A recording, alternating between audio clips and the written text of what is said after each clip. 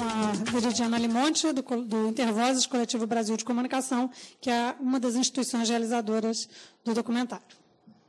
Posso botar aqui em cima, moça? Moça? Moça? É... Não, estava bom antes. Tudo escuro. No escurinho do cinema, isso aí.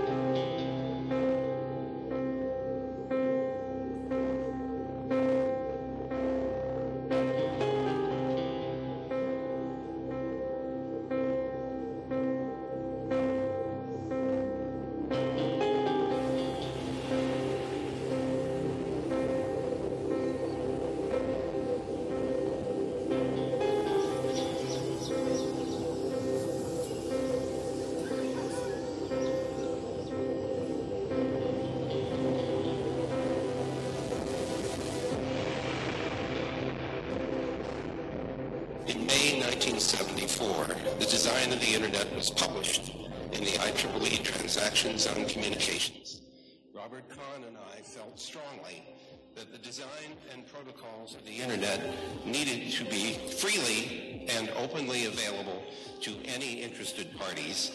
A long time later, the internet was running, there was email running over, there was no web, there were no websites, no web pages, no links. Uh, I felt that it was really important that there should be, so I invented the web. And as the World Wide Web project grew, I needed collaborators. The Internet has been built on the basis of collaboration among a diverse and constantly evolving set of interested parties.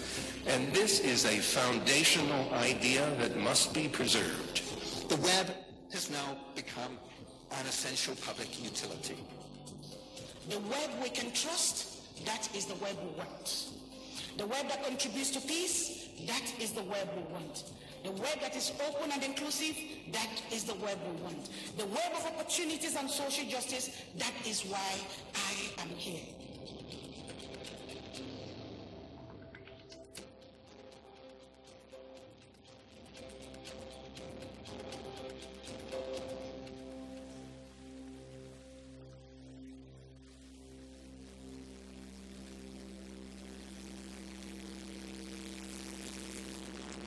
Internet ainda não é uma realidade para boa parte do sul global. Em comunidades isoladas, a falta de conexão limita as oportunidades e aprofunda a desigualdade social. No coração da Amazônia brasileira, a cidade de Manaus, isolada dos outros centros urbanos do país, é acessível apenas por barco ou avião. E ainda são necessárias mais nove horas de viagem pelos rios da região para chegar na comunidade ribeirinha de São Francisco do Caramuri.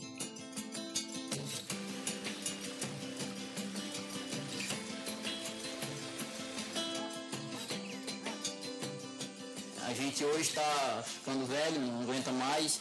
Para nós chegar na cidade, se não for através desse ramal, nós ter que pegar um barco, sair daqui uma hora da tarde, vai chegar três horas da madrugada na Panaí. É muito difícil. E de ônibus você sai seis horas, quando é dez horas tá lá. Entendeu? Esse ônibus é o que faz a linha de Caramuri até a estrada, né? Que chega até o Rio Preto. E ele está nessas condições aqui porque quando chove ele não tem condição de subir a ladeira e por isso ele está parado. Mais de faz duas semanas que não teve mais, não teve condição de fazer o transporte para o povo e o povo está sofrendo, precisando desse ônibus para levar até o Rio Preto. A produção fica, vai estragar dentro do caminhão porque ele não consegue sair. Né? Conseguir seu asfalto aí, com certeza, coisa mudaria para melhor, né?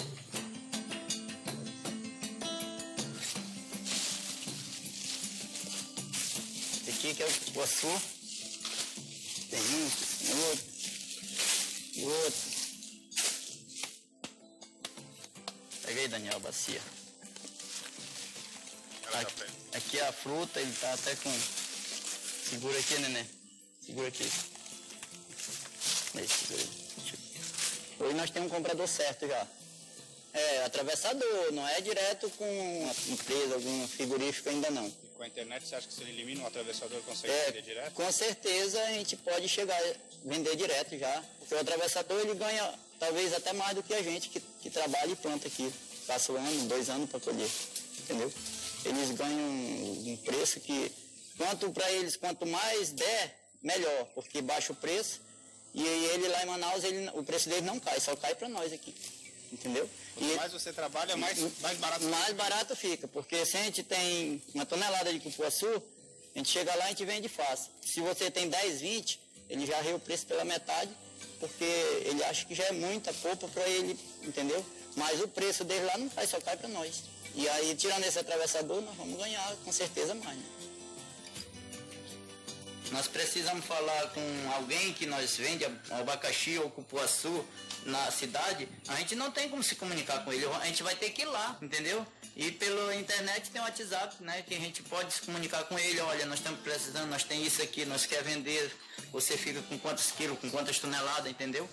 O telefone, nós já tem um sinal muito pouco aqui, que eu tenho na minha casa, e quando o rio seca, o, o sinal acaba, porque eu moro em flutuante, ele desce. Aí não, não pega. Agora tá voltando, tá pegando de novo, mas é muito difícil, entendeu? Quando eu até disse que tinha duas coisas que eu não, não queria mais ficar sem aqui na nossa área, que é a luz para todo, né? Que quando chegou foi uma surpresa que a gente nunca imaginava de chegar a luz para todo para nós aqui, não diziam que aqui era o fim de mundo, né? Mas não é, hoje nós estamos com energia direta aí. E quando vai embora já fica, a gente já fica triste, já acostumou. E outra coisa é um telefone. Tem hora que você se comunica, faz coisa que nem de avião você faz.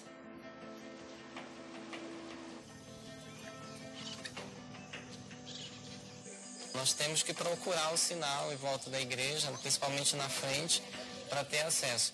Falamos sempre quando é feita a ligação no Viva Voz, porque se mover o celular, tirar da posição, o sinal cai e a comunicação é interrompida.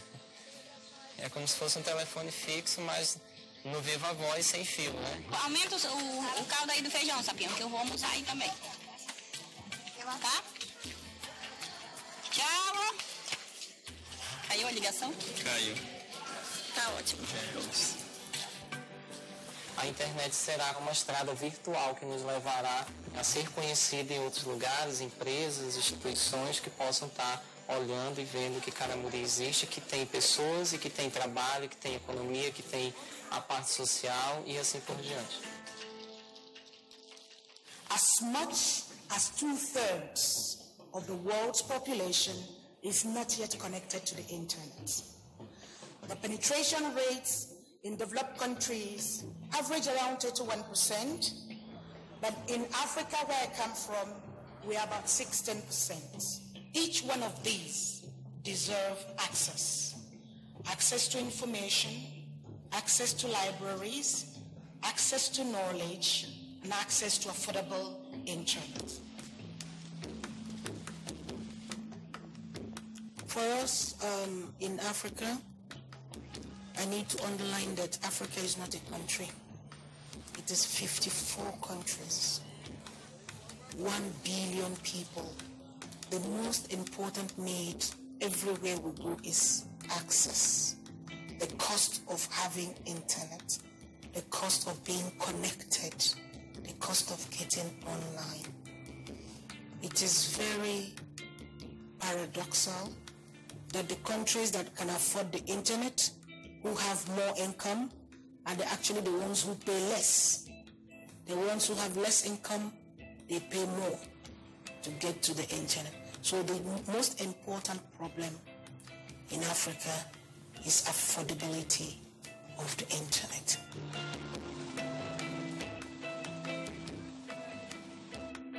No Brasil, os mapas de renda e de conexão em banda larga praticamente se equivalem. Em uma das maiores economias do mundo, apenas metade dos domicílios tem conexão à internet. A lógica de mercado, que ignora as regiões mais pobres do país, também discrimina classes sociais em um mesmo bairro. Lá é o Morumbi. E aqui é a entrada do Paraisópolis. Então, a divisão é uma divisão social, né, entre as classes, porque fica tão próximo, mas ao mesmo tempo bem distante, né? Porque aqui fica os ricos, lá embaixo fica os pobres. Então, a diferença é essa, isso que eles fazem a diferença, porque na verdade o endereço é o mesmo, não muda nada. Só muda o nome, Paraisópolis e Morumbi. E essa placa aqui, né, dessa propaganda, dessa internet, de 100 megas, só que eu moro bem aqui do lado e eu não vejo essa internet lá. Ó, mas no Morumbi tem, ó. Eu usar o CEP da minha casa, da minha residência hoje, para pedir uma internet, vamos supor, de 6 GB, eu não consigo. Agora, se eu pegar o site aqui da Avenida Giovanni Glonk, aí eu consigo qualquer mega que eu quiser. Isso é então um retrato dessa questão. A conexão larga no Brasil se ainda tratada na perspectiva do mercado. Ou seja, a gente vê claramente que onde interessa, onde há interesse econômico, o serviço está. Veronice trabalha como faxineira diarista e cria sozinha suas duas filhas. Ela não tem renda suficiente para contratar a internet domiciliar, que é vendida junto com uma linha telefônica obrigatória.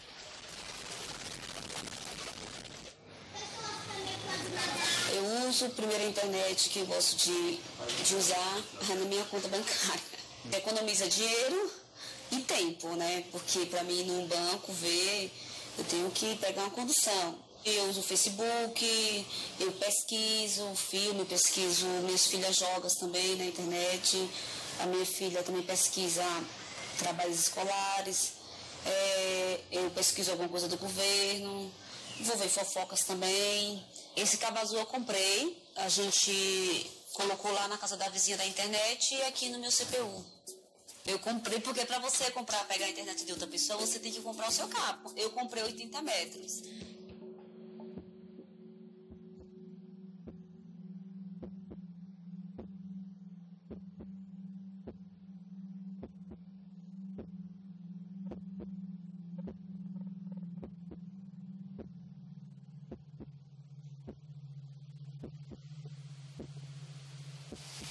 Azul aqui é o fio da minha internet, onde ele sai da minha casa e vem até aqui que eu vou mostrar para vocês.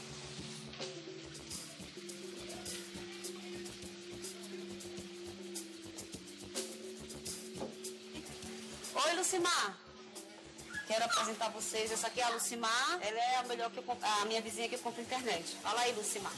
Ah, eu, eu peguei a internet pra mim. Aí elas pediram e eu, passar, eu passei pra elas também. Eu já troquei já de. Já troquei do aparelho já três vezes e além tá a mesma coisa. Lucimar paga 120 reais por uma conexão de 4 megabits por segundo e pela linha telefônica. Ela divide esse custo com sua irmã Lucimara e suas vizinhas Veronice e Patrícia.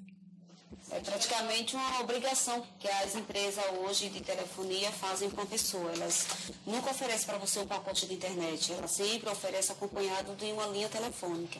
Para mim é muito mais prático eu comprar de outra pessoa do que eu ter a minha própria. E bem mais barato também, mais em conta, né?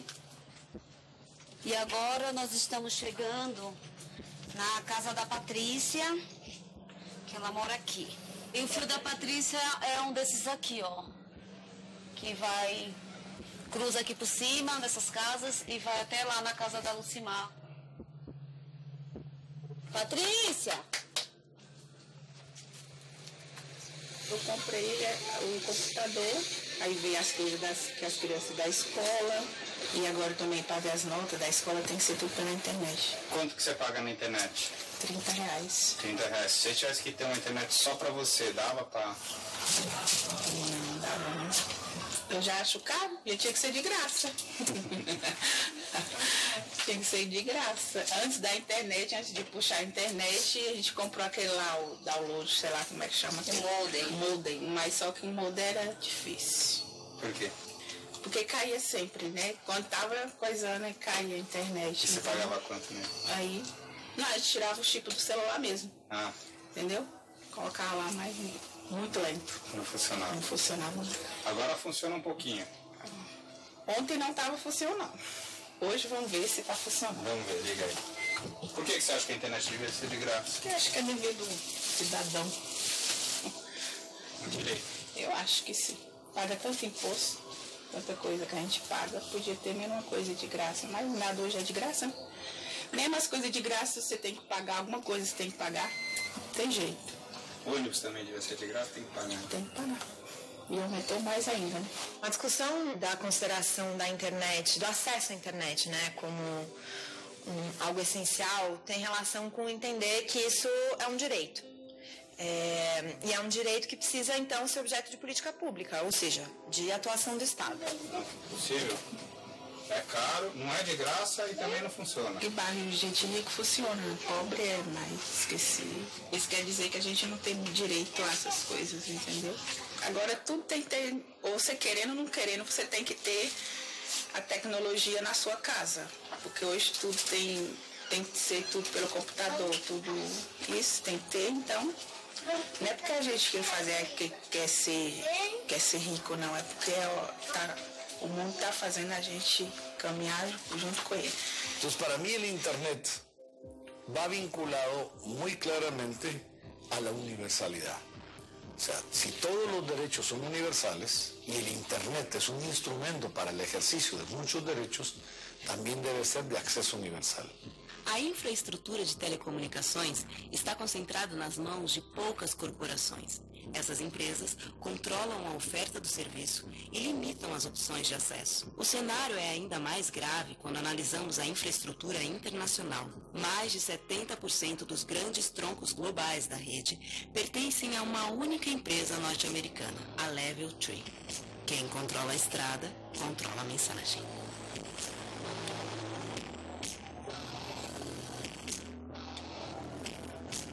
Welcome to America, land of dreams. Well, this is another uh, plant that's been abandoned that was part of the auto industry. So this is just another example of what happens, you know, when an industry is building infrastructure. They leave, once they leave, they, they leave us with nothing. And, you know, the people are still here when there are no jobs, then you end up have they have to leave their homes so we can get the abandoned homes. So how do you pick up the pieces after that? So this is to me this is these abandoned factories uh, is marks the end of an era. It's the end of the industrial age, which built Detroit. And I feel like what I've learned from this is that it's not we can't let companies control the infrastructure of how we live. We need to understand how technology works. We need to be able to build technology for ourselves so it's doing what we need it to do. How are we going to make sure we don't have information blight? That people are going to, you know, still be able to communicate in ways that are meaningful. What happens when someone decides to kill the switch? And these are the big questions that we're asking. And this is why we're building these mesh networks because we want to have we don't we don't want to stop communicating with each other. It's it's extremely important that we stay connected and we build relationships. As redes convencionais de internet partem de um único ponto para conectar as residências. Já nas redes mesh, os diversos pontos estão ligados entre si, com acesso a aplicações exclusivas dessa rede, tais como rádios comunitárias, bancos de dados e o que mais se quiser desenvolver. A rede mesh ainda pode ser conectada à internet em um ou mais pontos. As conexões são distribuídas entre os vários nós e se um ponto cair, a rede redireciona os pontos de conexão para seguir integrada e conectada globalmente. See that one up there? Yeah. Um, and the idea is, is that if these guys all talk to each other, and then we have a some more on the other side, they'll all talk to each other, and then you know you start to sort of build out naturally that way. And the other good thing is, is that if one of them who's connected to the internet goes out, it'll self-heal, and it'll find the closest router to it, so it could still maintain the network. So we try to keep it somewhat close. Diana busca parcerias nos bairros mais pobres de Detroit para a instalação das antenas da rede Mesh. Nathaniel, que já foi morador de rua e hoje é presidente da People United as One, é um de seus parceiros. Ele oferece moradia temporária para as pessoas sem teto, além de apoio para a busca de emprego e formação profissional. That's the most important thing because you need that to get the job. You need that to get housing. You need that to, to apply. You need that even, like I said, a lot of your grades, you have to, and this is in uh, elementary school. They have to go online and get their grades or to do assignments. So that's why this is so key. This is important. You cannot move on to the next level, housing, uh, finding a job, even improving your education, unless you have this.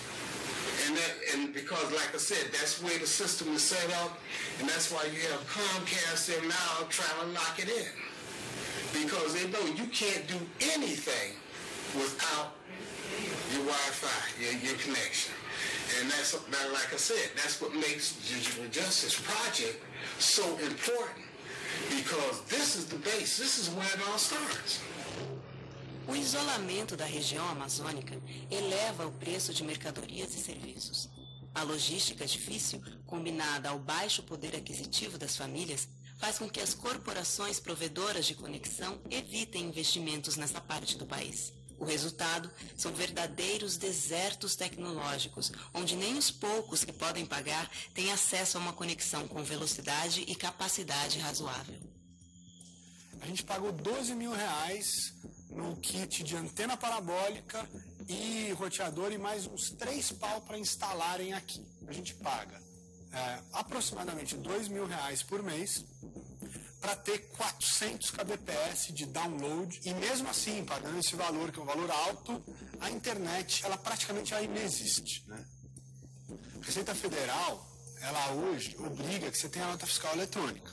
A nota fiscal eletrônica tem que ser no estabelecimento que você está, ela é aqui. Mas como é que eu vou ter nota fiscal eletrônica com a internet que eu tenho? Eu não tenho. Tem algumas políticas federais de Enem, SISU, sei lá, que você tem que se cadastrar via internet cara de Novairão, às vezes tem que correr para Manacapuru, correr para Manaus, porque não tem. Então, como é que você pode ter um programa federal que te obriga que agora seja tudo por internet, se você não garante que tem internet? A recusa das grandes corporações em atender as áreas isoladas fez surgir pequenas empresas que se esforçam para ocupar o escasso mercado dessas regiões. A gente que somos pequenos, que estamos nascendo de baixo, estamos espalhando, né, segmentando esse mercado lateral do, da, do estado. Estamos chegando agora na comunidade de Caramuri, já estamos terminando a nossa, a nossa implantação da torre lá, uma torre de 84 metros. Dessa torre de lá vai dar prosseguimento a mais três cidades. A gente está aí batalhando para botar a internet para funcionar para a comunidade. Né? A gente está realmente fazendo aquilo que nenhuma das operadoras grandes querem fazer, né? E que isso vem despertar o interesse do governo investir na gente, que somos pequenos, né? Dar essa oportunidade da gente poder crescer como as operadoras que são de incentivo e capital estrangeiro, né? E os caras vêm de lá, pegam o que é nosso, usufrui e leva o capital para lá. A gente aqui gera emprego, renda e a renda toda fica no local localizado na, na cidade, na capital. O governo hoje é, ele ajuda muito da isenção de impostos, incentivos e linhas de crédito para as grandes operadoras, porque elas têm como dar um, um para o banco algo em troca, né? O intuito com o governo é que o governo possa nos dar essa linha de crédito, ela possa porque a gente chega com o banco, o banco vai dizer o que que você tem para nos oferecer. A gente não tem praticamente o que interessa ao banco. Vou oferecer meu carro, vou oferecer minha casa, mas é uma linha de crédito ínfima para a gente atender uma população de 10 mil habitantes.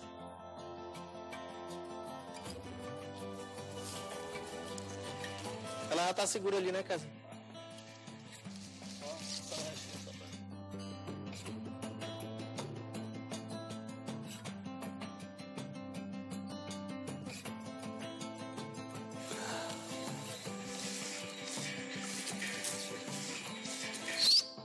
O AP vai direcionar para lá? Eu vou botar ele pela face de dentro, porque eles estão subindo o módulo ainda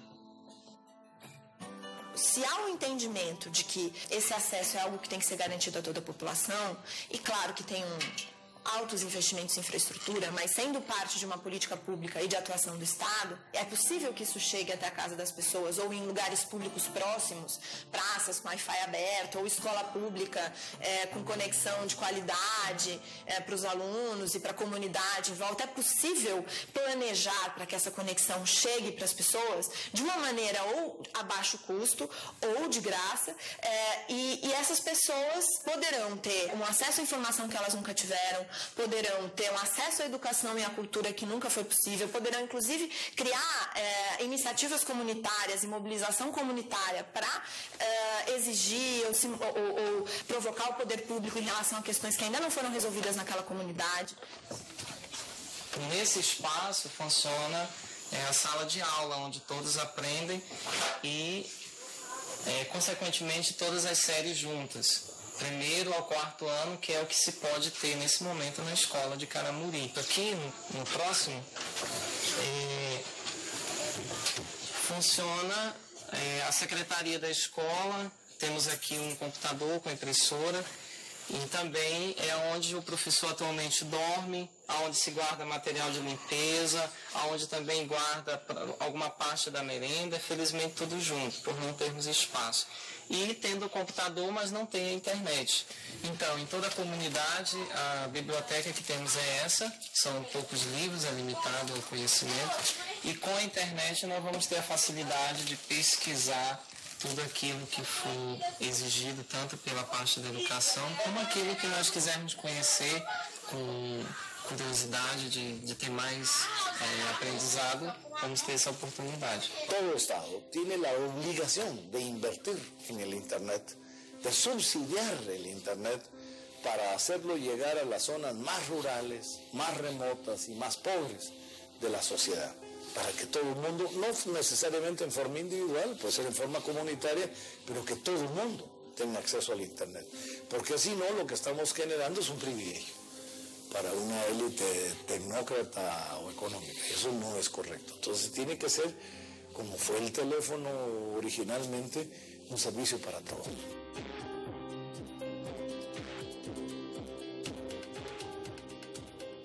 Uruguai entendeu que o mercado não seria capaz de universalizar o acesso à conexão de internet. E, através do Estado, fez investimentos para garantir infraestrutura pública em todo o país e para todas as classes sociais. En Uruguay tenemos un, un monopolio público de, Internet el objeto, como objetivo, como mandato, este, darle Internet, así como línea telefónica, como electricidad, como gas y agua, a toda la población. Nosotros estamos tratando de complementar, o, más bien utilizar esa infraestructura para agregarle este, conectividad a las escuelas y, mejorar la educación a través de eso.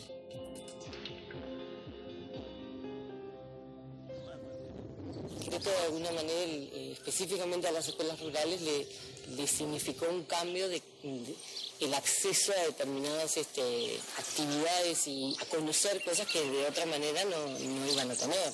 Eh, no solo a través de las máquinas, sino bueno, a través de la, de posibilidad de tener conexiones este, en Internet también y de vincularse con otras escuelas. Las posibilidades que ha abierto no, no se vuelve de esto. O sea, todos los niños y sus maestros puedan eh, acceder a, a, algo que antes era para algunos nada más, este, me parece que, que, provoca un cambio hasta en lo que es la democracia. ¿no? Vamos a hacer grupos. ¿Dónde van a estar los niños? De inicial, los de primero, Valentina y los de segundo. Así que todavía no vamos a sacar toda Mateo. ¿Qué vamos a hacer? Vamos a trabajar con las tablets con las CXO. Y bueno, así eh, con internet ellos están conectados al mundo. Están conectados, saben muchas cosas gracias a, a, a, la computadora y que se pueden conectar a internet. Es una manera de que también, eh, gracias a la biblioteca Ceibal, nosotros podemos eh, tener que todos los niños de, de, de, clase puedan leer algún cuento.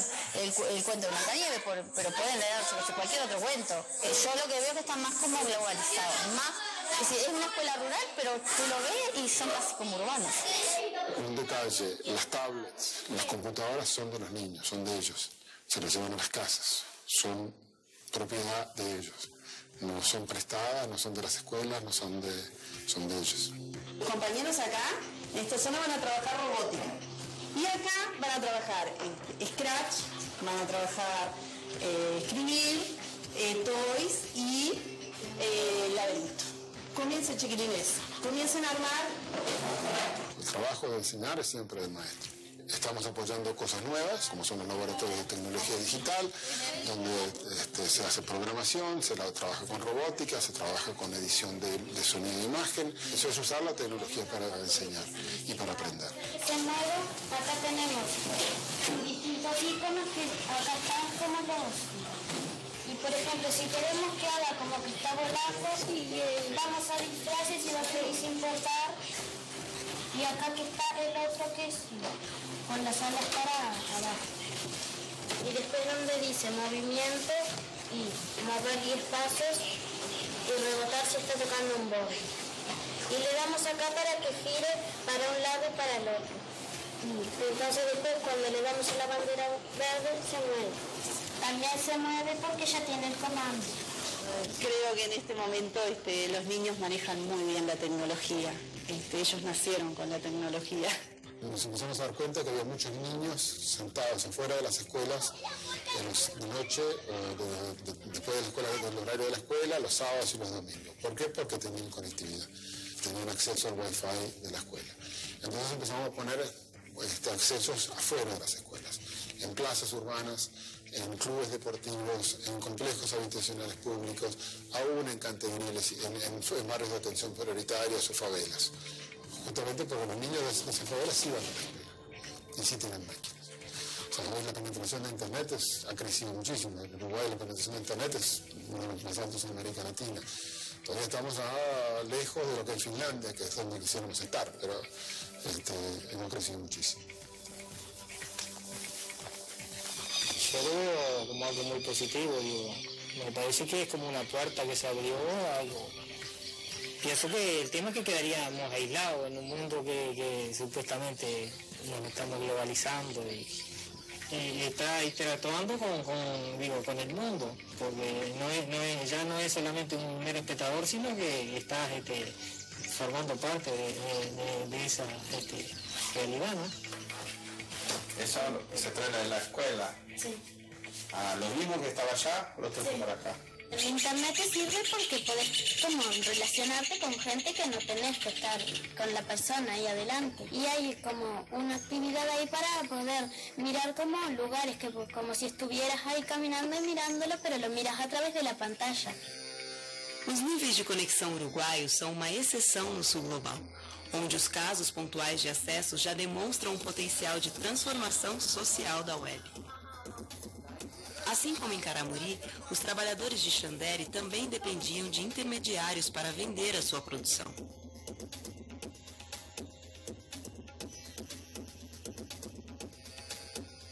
You know one thing, Jakarta is the first computer.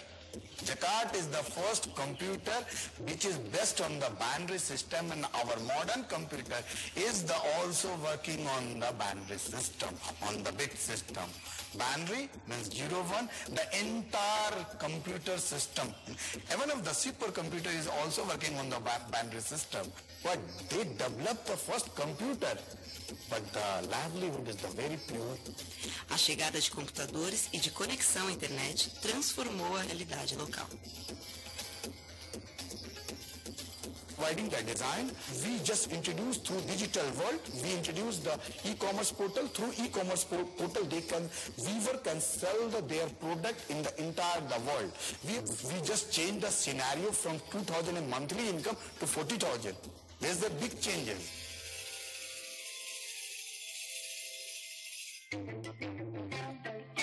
No Quênia, a população utilizou a tecnologia para criar uma alternativa ao inacessível sistema bancário do país. Créditos de celular usados como moeda se tornaram um dos aplicativos mais populares e utilizados.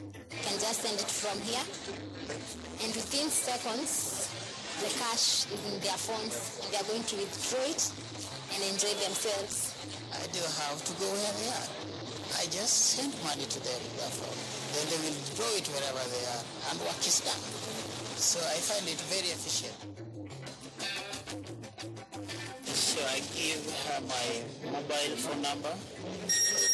Now I'm receiving a message from M-Pesa. Confirm Kenya shillings 100 cash. I have to sign that I've received that money. Now I can send this money where I want to pay a bill, electricity, water, buy some items. Initially I thought these are con men, but when it worked, I found it good. Since then, I've been using it.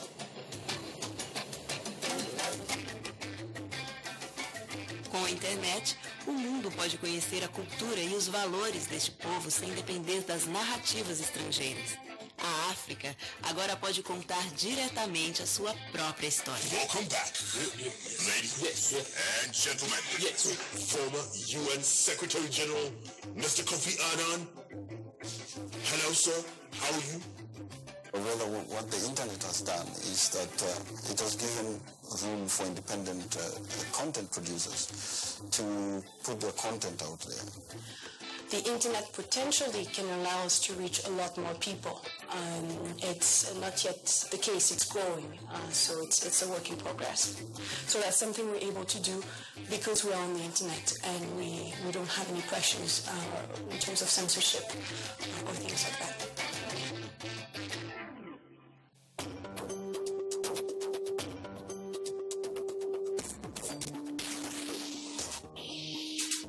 Liberdade de expressão e a participação social ganham força quando nos conectamos em rede. A TV e o rádio não são mais os únicos a narrar o que acontece nas ruas. Quem antes apenas via e ouvia, agora também pode falar e ser visto.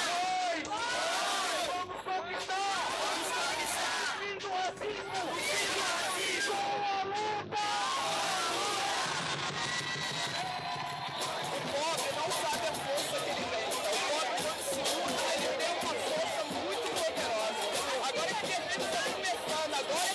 vai mostrar isso em terra.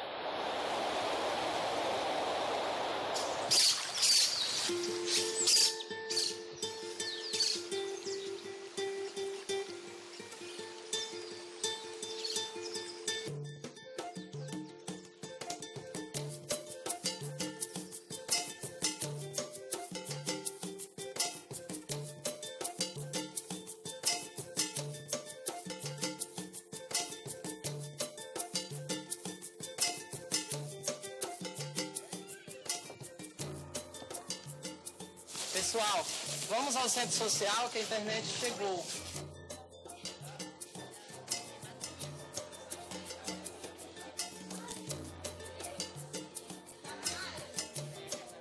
Foram quase 22 anos em espera por uma nova tecnologia e hoje chegou a internet.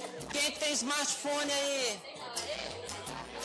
Olha aí, temos vários.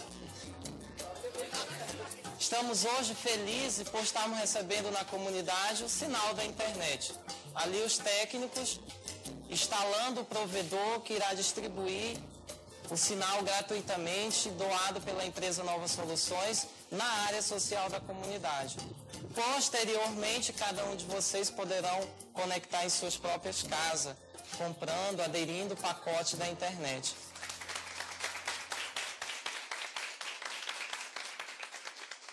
Hoje vocês vão ser atendidos com o sinal via rádio que tá, a gente está instalando, terminando as instalações, já instalamos a torre de 84 metros. E, gente, é, é um desafio muito grande, é um investimento muito alto, mas é, vai valer a pena cada centavo, porque todos os investimentos que nós fizemos na área rural, fora da área urbana, nos trouxe muito mais benefício do que dentro da área urbana.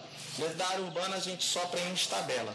Né? A gente está lá na área urbana ali lutando com os outros leões, com a NET, com a Uivelox, com as grandes operadoras, né? E a nossa luta daqui a pouco, que a gente vai aparecer para o mundo todo, é mostrar que Caramuri existe, que nós precisamos de ramal asfaltado, nós precisamos de uma escola nova, nós precisamos de um posto de saúde, nós precisamos de políticas públicas. E a internet chegou. Vocês sabem o que, que isso representa, o que, que isso significa, vocês estando aqui? Consciência política.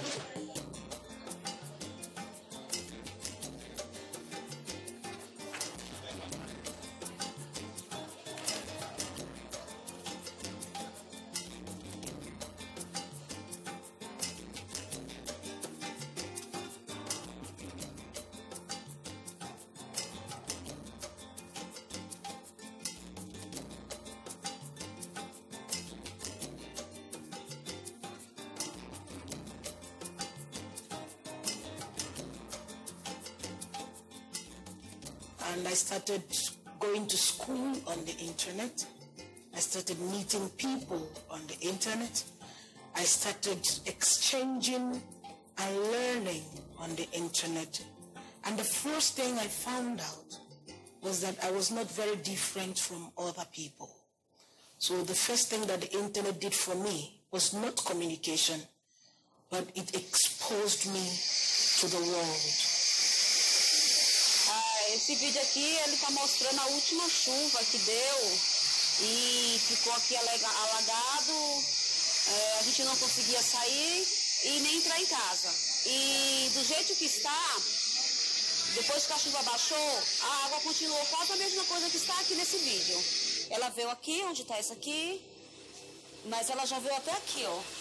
Não, tirou teu ombro. Isso, ela já ficou dessa altura. Não dá pra passar por aí. Não, a rua já uma vez já passou a semana inteira fechada. Uma chuva que teve, né? Que ficou todo entulho, ficou lá na rua, passou a semana inteira fechada. A, a Rede Globo veio, falou que não ia gravar. A Record veio, gravou e isso nunca foi ao ar.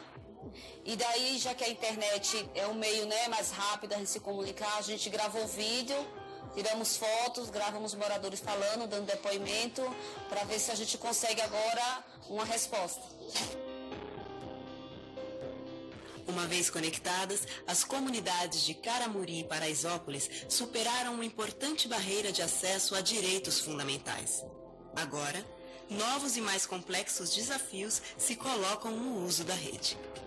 Well, we're at a moment where technology is enabling an incredible diversity of people to participate in the creation and the sharing of culture. Um, you know, over the 20th century, the creation and professional distribution of culture had become so concentrated in the first world nations. Um, uh, and now the technology is inviting everybody to participate and to, and to create and to share. Swing and a miss, strike three. The jump shot from the corner. Don't you want to watch two things that are on at the same time? Well, now you can, because Sony's revolutionary Betamax deck, which hooks up to any TV set, can actually videotape something off one channel while you're watching another channel. With Sony's Betamax, you won't miss a thing. No, I didn't. Na década de 70, a Sony criou um aparelho capaz de gravar os filmes e programas da TV.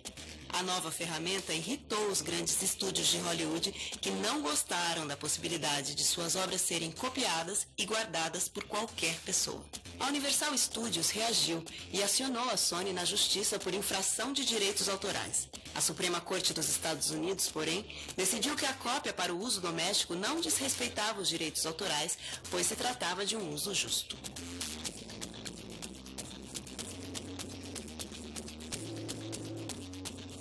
The freedoms we took for granted about copyrighted works in the analog world don't obviously translate to the digital world. So in the analog world, you know, I can read a book. That doesn't trigger a copyright law because reading a book doesn't produce a copy. We have strong traditions that I can quote the book without getting permission from anybody. I can critique the book without worrying about some violation of copyright law. All these things, these freedoms were built into the physical manifestation of copyrighted works um, because that's what culture demanded. Um, but as we move online, those same freedoms can't be taken for granted. I have a dream that one day this nation will rise up and live out the true meaning of its creed. We hold these truths to be self-evident that all men One of his most famous speeches, um, the "I Have a Dream" speech, which prob- you know most people around the world have probably seen or heard at least once or read um, in history classes, um, has actually is copyrighted, um, and the rights are managed by EMI, which is a record company, um, and so um, it's actually been taken down from YouTube many times. It's difficult to find a, a complete version of Dr. King's entire speech on YouTube, and so we made a, a, a version of, of his video with the complete speech with a short introduction kind of explaining um, some of these ideas around copyright and explaining how we could actually have gone to jail for making this video um, if the copyright maximalists had gotten what they wanted. We could be going to jail for sharing a video of our nation's history, of one of the most important moments um, in the history of racial justice and in the history of the civil rights movement, and really in the history of any people's movement. So this is a general problem with democracy around the world. Democracy around the world right now um, uh, is not responsive enough to ordinary citizens um, and is too responsive to powerful economic interests. It's especially true in the United States, but it happens everywhere. Um, and so um, you would think that democracy is exactly the mechanism that we would use to represent the ordinary user uh, as opposed to the business. But instead, we see democracy serving as the tool of the economic interests as opposed to the interests of the society as a whole. And, and, what the law is doing is making it difficult for people to do that legally. Just think, for example, about a school. A public school is not going to teach its kids to violate the law. Um, so it can't teach their kids how to take videos and to remix them or to build on the photos of other people um, where the copyright status of all this work is unclear because that's presumptively to violate the law. So this form of education becomes illegal in the digital space for no good reason at all. Yet we know the schools or the universities or other institutions are not going to engage in that kind of education because the law presumptively makes it illegal.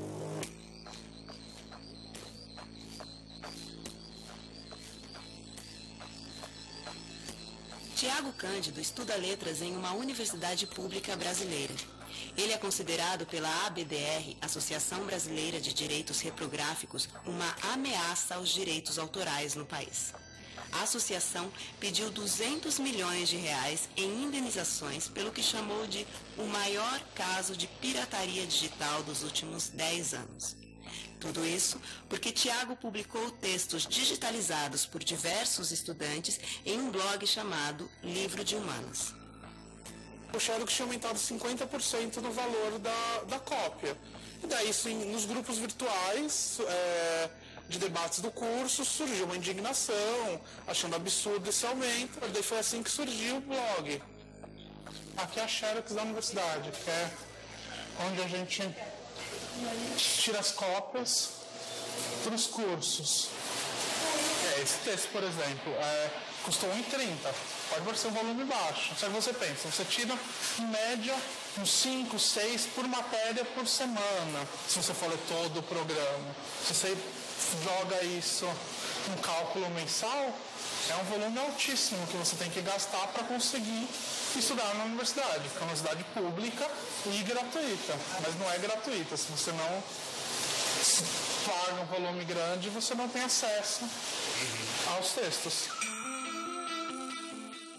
Se hoje nós temos as notícias de uma história longa da humanidade, os espaços conhecidos como as bibliotecas contribuíram muito para isso. No panorama de hoje, no contexto que nós temos com o advento das novas tecnologias, isso se alterou, mas a missão da biblioteca de armazenar, de é, tratar e disseminar, ela não se altera, ela se adapta às condições. Estamos da universidade toda para a gente consultar os acervos, né? Introdução à Linguística Princípio de Análise. É um livro escrito por professores da USP. É produzido com verba pública, professor universitário, é pago com verba pública, em dedicação exclusiva, e só que daí ele publica por uma editora privada. E se estivesse na internet, um aluno poderia ir lá baixar, tem a necessidade, baixa a sua cópia, e todo, todo mundo poderia ter a cópia em casa do, do livro. O conhecimento gerado na Universidade de São Paulo, ele é público é, nós perseguimos uma política de acesso aberto. Naturalmente que nem tudo que a USP produziu em termos de conhecimento está aberto porque essa política nova que com a internet, de tornar tudo disponível, ainda encontra algum, algumas situações legais que precisam ser respeitadas, leis de direitos autorais. Eu creio que podem haver direitos de autor para proteger el trabajo de un artista, de un científico, de un investigador. Pero hoy no son ni los artistas ni los investigadores científicos los que están protegidos, son las grandes empresas comercializadoras. You know, there's an obvious difference between copying something and theft. Um, if you steal my physical book, you take this book from me, I don't have it, um, and I can't use it, and, and so I'm worse off. But if you take a copy of this book, um, I'm no worse off, and maybe or maybe not, the publisher of this book is worth, worse off. So the rules should not be blocking people from doing things that doesn't hurt, that don't hurt anybody. Um, and the point to recognize with, with digital copies is that it's not clear in many contexts whether it's hurting people or whether it's not hurting people. And the law ought to be restricting people's freedom only where it makes sense to do some good public good. O sistema diz que tem pelo menos dois exemplares disponíveis, mas aqui a gente não encontra nenhum. E se fosse no livro de humanos, a pessoa que precisa do livro chegaria lá, baixaria sua cópia e o livro continuaria disponível para qualquer pessoa acessar. O advogado da BDR coloca que é um caso paradigmático e eles fizeram esse processo da forma como foi feito para tentar dar um fim a essa cultura do compartilhamento no país. Me parece que hay que ser muy cuidadoso en definir cuáles son los bienes protegidos por el derecho de autor y cómo se protegen para que no eh, de manera desproporcionada la libertad de expresión en Internet. Es decir, no todo vale para proteger los derechos de autor, ni cualquier cosa es protegida como derechos de autor. This is one of the biggest mistakes I think that the industry made to create this antagonistic relationship to um, especially young people on the internet and to make copyright seem like it was some oppressive regulation. Um, uh, that was against the uh, potential of the internet. Because what that's done is it's justified in people's minds the idea of resisting copyright. Now, my own view is that there's nothing wrong with copyright. There's just something wrong with the particular version of copyright that we inherited from the 20th century. What we need to do is to update it, to make it make sense for digital technologies. And if we did that, then people should be respecting copyright. Um, um, now, what exactly the update looks like, we're still trying to figure that out because we're still evolving in the way people uh, distribute and get access to culture. But I think that what we need to do is to find the, the model that makes the most sense, that allows the right balance between freedom and, and regulation to both encourage artists to create, to give them the resources they need to create, while assuring the type of distribution and access around the world that people around the world are entitled to. Just because you're using somebody else's copyrighted material does not mean that you are violating copyright. There are many forms of fair use, and you have to take into account the amount of, uh, of the work that is being used, uh, the purpose of, uh, of the use, like for if it's for an educational purpose, if you are writing a review, if you are doing a criticism, this is all sort of valid fair use. Um, and if you look at the history of art, it is people using each other's work. It's people being inspired by one another another. And so much art and criticism would potentially be a violation of copyright if it were not for fair use. The history of art is just one big mashup.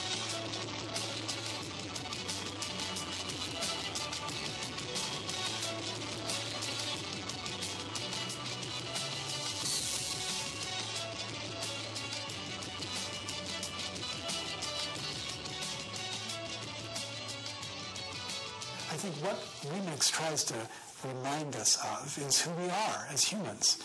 And as humans, we are always copying and sharing and remixing and building upon what we perform. That's something to celebrate, not something to regulate. Para viabilizar conteúdos que combinassem a garantia de direitos do autor com o interesse público, o professor Lawrence Lessig e um grupo de especialistas criaram as licenças Creative Commons. Em vez de se reservar todos os direitos incondicionalmente, os autores definem que tipos de uso querem permitir e quais querem proibir. A internet pode parecer esse lugar onde todos têm as mesmas condições de falar e serem ouvidos. Mas, na verdade, o tráfego está cada vez mais concentrado em portais e plataformas de algumas poucas corporações americanas. As plataformas que concentram a maior parte do tráfego da internet são centralizadas e de código fechado.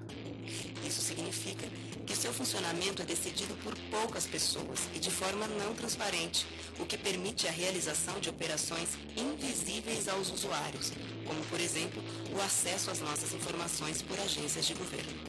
One of the things that we have very long suspected about uh, about the platforms, especially about Facebook, is that it has uh, a very severe bias uh, when it comes to a sort of call for violence uh, from Palestinians, but a great deal of latitude when it comes to calls for violence from Israelis.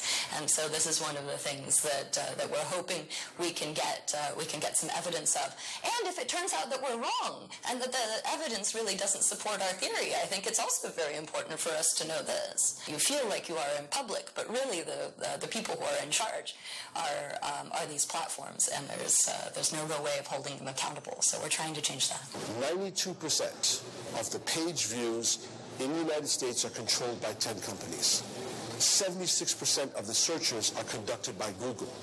The way Google's search engine is written, it prejudices against somebody writing something in Portuguese in Recife, you know, or Manaus, or speaking in another language in, in Africa. So the internet is right now designed to actually eliminate the voices of the majority and concentrate the voices of the, the upper classes of the Western countries. Great danger because 25 years from now, when you want to read a history book of what was the history of Brazil, are you going to know the Brazilian voices or are you going to know the voices of a few professors in Washington? Em contraposição a esta lógica concentradora e pouco transparente, surgiram iniciativas de plataformas descentralizadas e programas de código aberto com o objetivo de preservar o caráter horizontal e colaborativo da rede. Tor is an anonymity network. It's both a piece of software you install on your computer and it is a free software system that is implemented, peer-reviewed, and freely available to all people without any exception. It can be used to circumvent surveillance and censorship. It is a useful tool in an arsenal of tools of communication security. That is to say that it is a tool which makes certain guarantees about security and privacy and anonymity, and does them in an openly specified peer-reviewed way, and the free software that implements it is available to all people. The network itself is made of people who wish to have this privacy property, this anonymity, the circumvention of censorship. And they simply run it. It's a peer-to-peer network. And by participating in the network, the network grows. And every person on the planet is able to use this to be able to read and to be able to speak freely. Who had access to technology? Was it only going to be the middle class at universities and the rich, or was it going to be the people who needed it the most? So, very young age, I became quite thoughtful that we needed in the software movement free open source, and it needed to be accessible. And if we could get that, then everybody could have equal access and equal chance to contribute, both as a producer and as a, as a user of technology. And likewise, we should recognize that open standards like free software are essential for being able to communicate, for being able to share, for being able to create the internet. I would really like to see more uh, free and open source projects, uh, more nonprofit organizations uh, building platforms, uh, building platforms that are not centralized and that are federated, sort of like uh, the Diaspora Project, um, or for that matter, Tor. Um, and the more that you have platforms that nobody can control and that you opt into, uh, I think the, the freer the internet will be.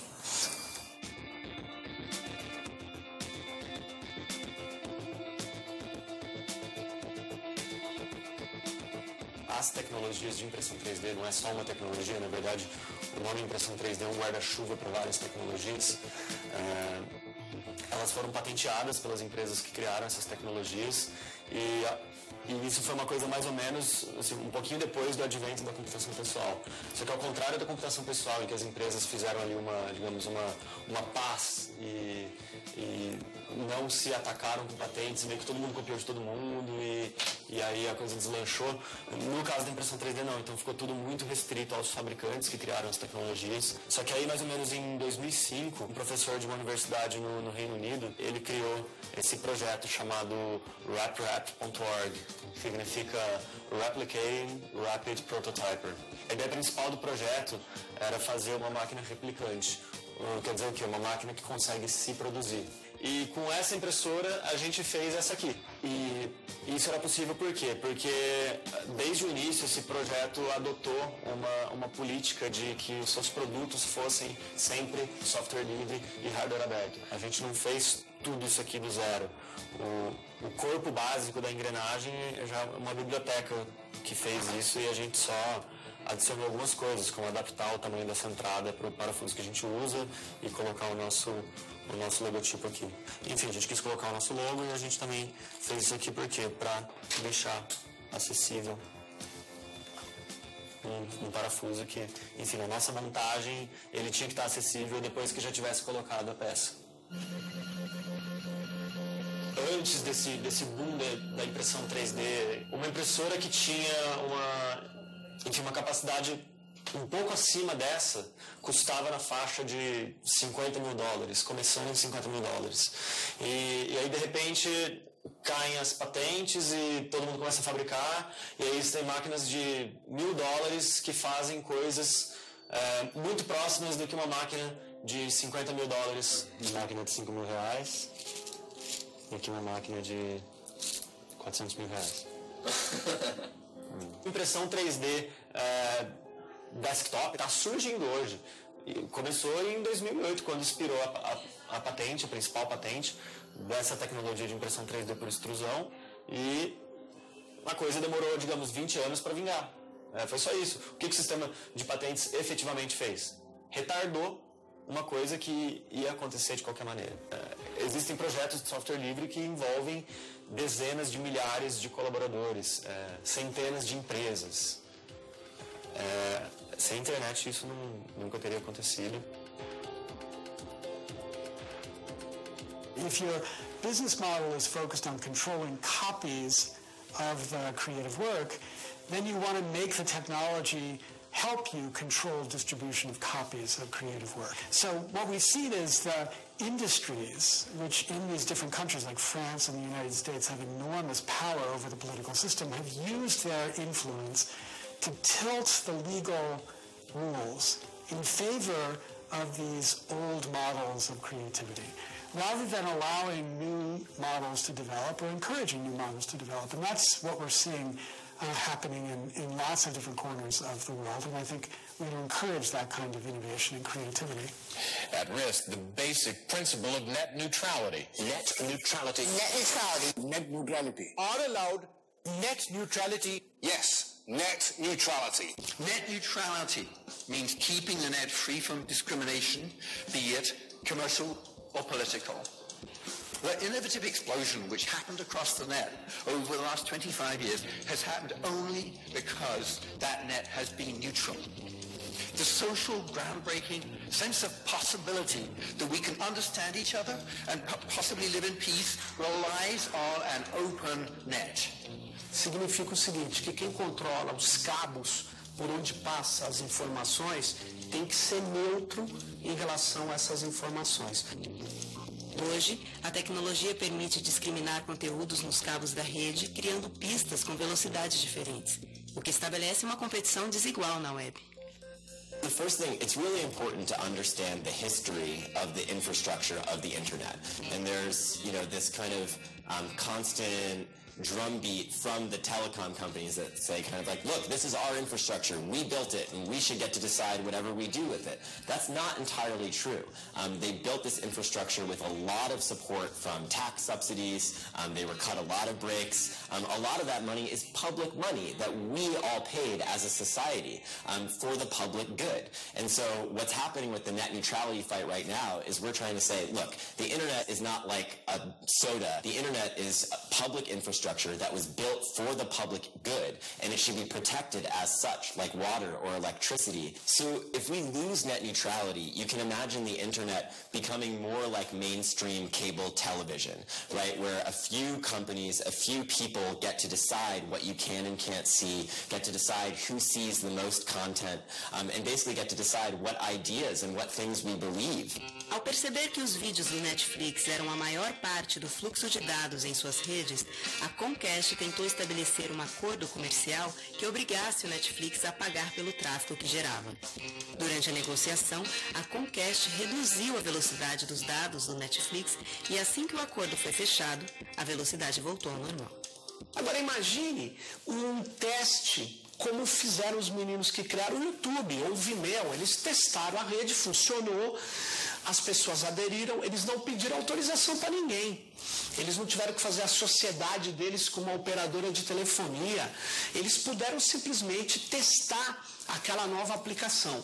Mas veja, a quebra de neutralidade, ela gera uma quebra da liberdade de criação. Aí não é só uma lógica econômica que está em questão, está em questão o futuro da internet. A possibilidade dos pesquisadores, dos hackers, das pessoas criativas poderem continuar colocando seus experimentos na rede e mantendo filtro. Algumas plataformas, como o Facebook, estabeleceram acordos com os provedores de internet para receberem tratamento diferenciado.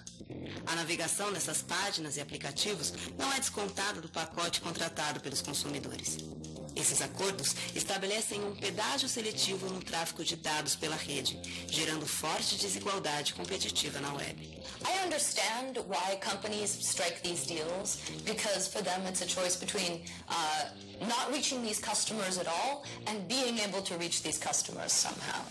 Um, but I think that the very nature of these deals is a devil's bargain. It sets a very bad precedent, um, especially for new organizations or new companies or new services that simply can't afford to strike deals like this. So one of the great benefits of the internet is, of course, I can reach everyone. So if you have a new business or service or website or opportunity, now you if you don't have net neutrality, you're not able to reach the world. You, you're only able to reach the portions of it that you have the right business relationship with. And that's a huge killer of innovation. And it, it is also a huge centralization of power.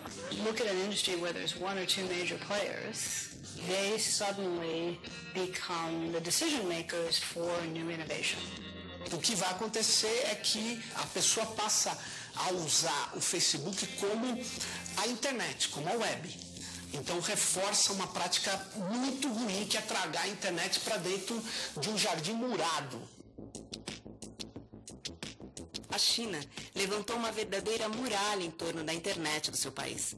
Sites como Wikipedia, Facebook, Twitter, YouTube e Google são bloqueados e buscas online censuradas. Citações ao massacre da Praça da Paz Celestial e fatos ligados aos movimentos de independência de Taiwan e do Tibete não são encontrados. and um, a creator and activist. Um, I make documentaries about a queer issue in China. The second part of the uh, social media is uh, social media from abroad, such like Facebook and YouTube and uh, Twitter. were all blocked uh, from China. You have to use a VPN to use it. Para escapar do bloqueio, Popofan usa redes privadas virtuais, chamadas VPNs. Elas criam um túnel de conexão protegido por criptografia que atravessa a muralha virtual até um servidor em outro país. Dessa forma, estabelece uma conexão que não parece ser feita da China.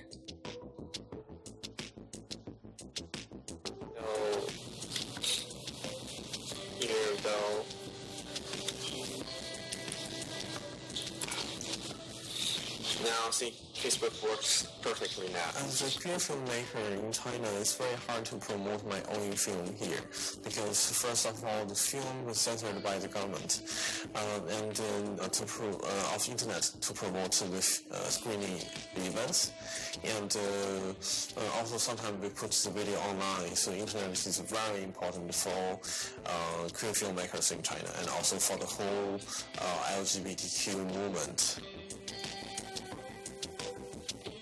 Is very important. And for social media, uh, in, uh, two kind of social media. The Chinese uh, social medias, including Weibo and WeChat and Douban. Uh, so we can post the event online, but it will, it will be under the censorship of the Chinese government. Uh, so once if you post anything uh, political sensitive, then it will be removed. And what we do is that we, uh, if they remove us, we will post it again, and until everybody see it. Um, but it's still a challenge um, for us because sometimes the account would be shut down. Uh, this happened uh, for for a few times. From from the government, and it's been so long time. Then a lot of us had self censorship. I have to admit my uh, uh, admit that I also have kind of self censorship myself sometimes.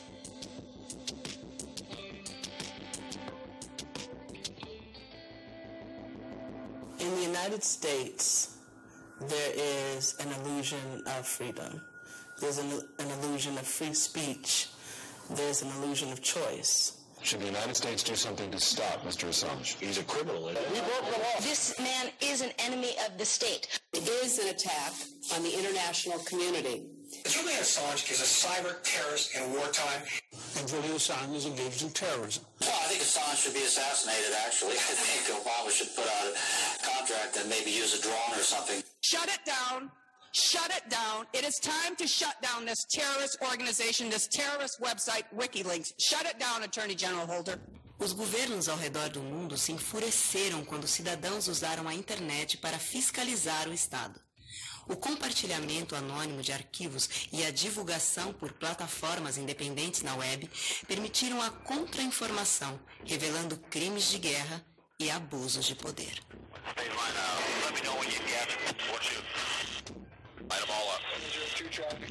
Come on, fire! I ride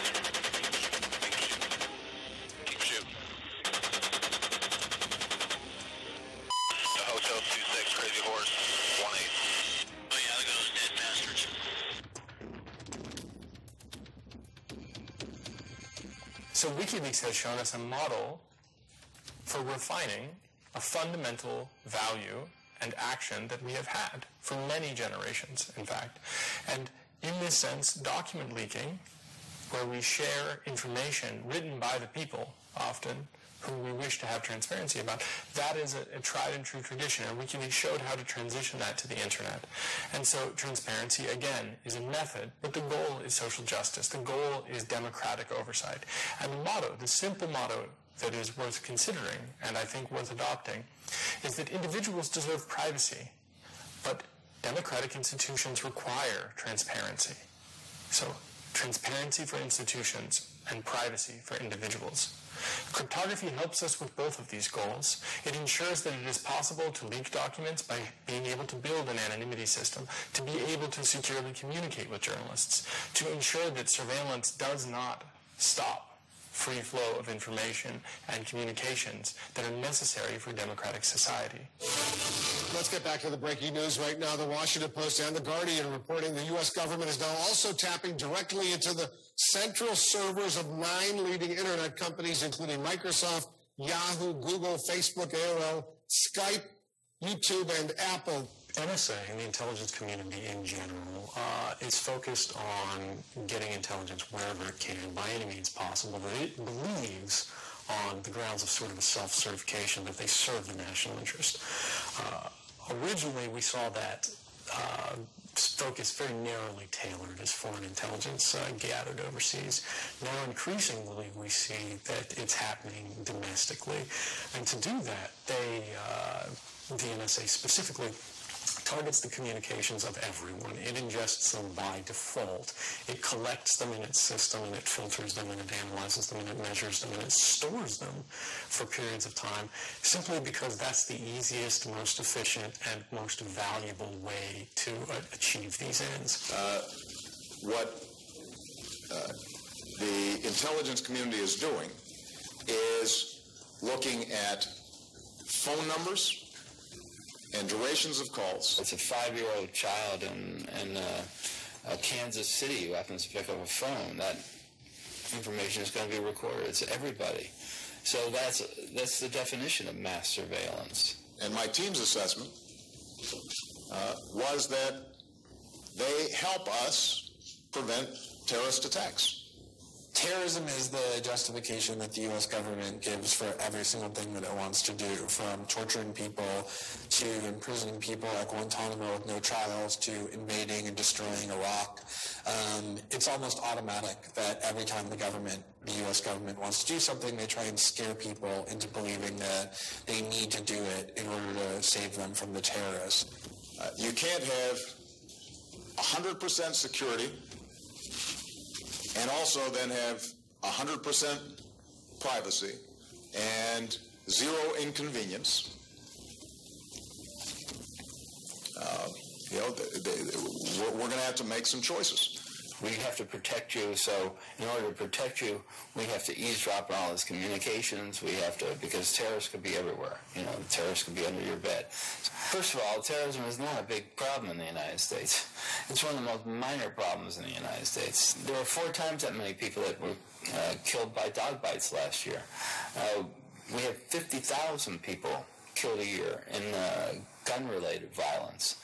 Uh, yet we don't pass laws restricting people's use of guns. Historically, what governments use surveillance for is to punish dissidents or to anticipate political movements and prevent political change. The United States has created a, uh, a, a cyber command. Uh, they have a cyber army. They have a cyber navy. They have a cyber air force. And the whole object of this is to, uh, it's what they say, it's actually their motto. It's to dominate cyberspace. And they want to collect it all. They don't want to collect some information. They don't want to collect much information. They want to collect the entire internet to store the entire internet so that at any given moment they can search it and read whatever it is that people online are doing.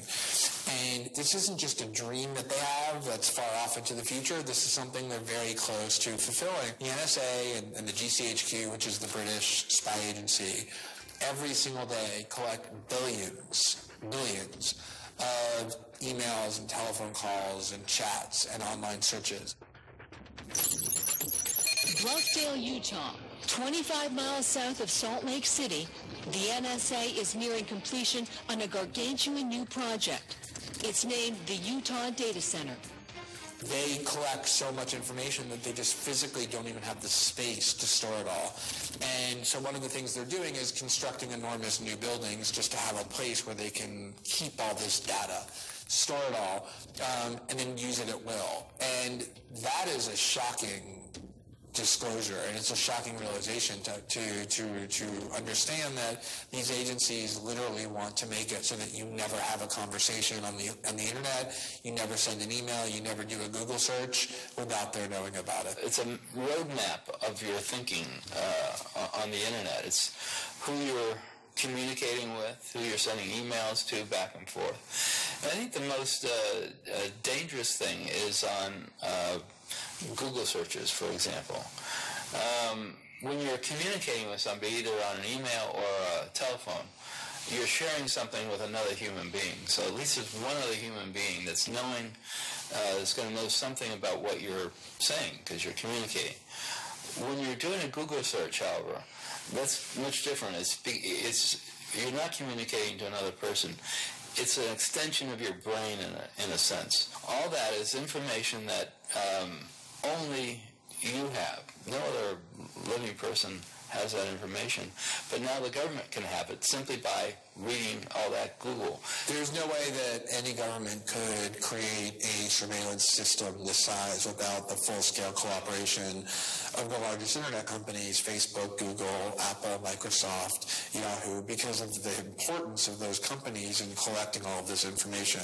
Nós vivemos um mundo de ultraconectividade mas que quem tem razão é o filósofo infelizmente falecido Gilles Deleuze. É uma sociedade de controle.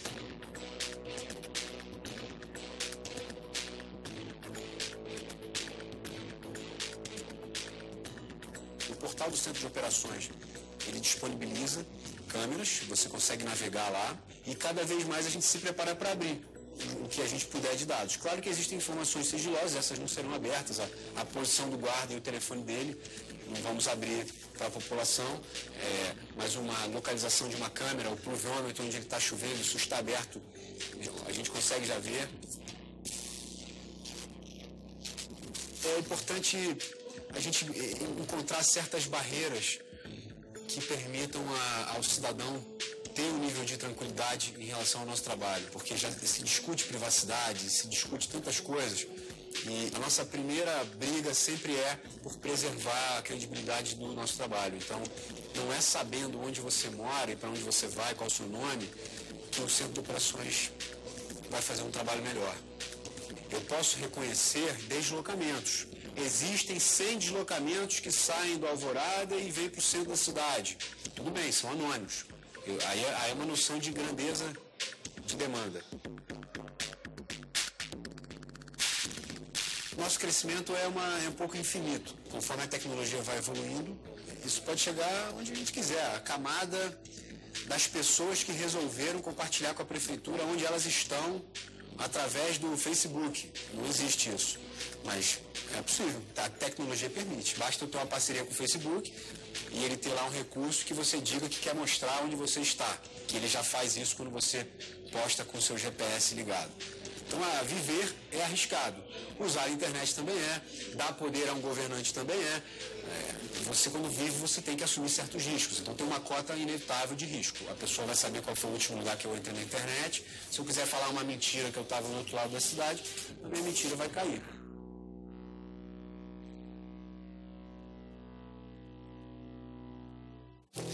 Sin privacidad no puede haber libertad de expresión. porque la falta de privacidad es un elemento de intimidación.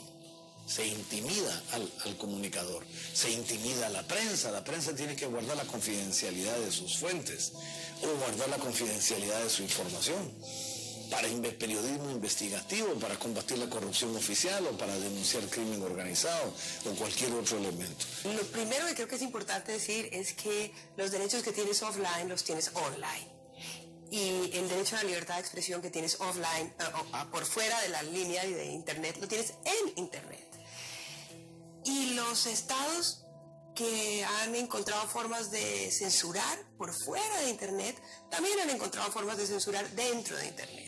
Formas de bloqueo, formas de filtrado, espionagem, sistemas de vigilância. Se a gente não tiver níveis de privacidade, o que vai acontecer é que nós seremos cada vez mais pessoas completamente vulneráveis aos interesses das corporações e ao interesse político dos governos que podem manipular essas corporações.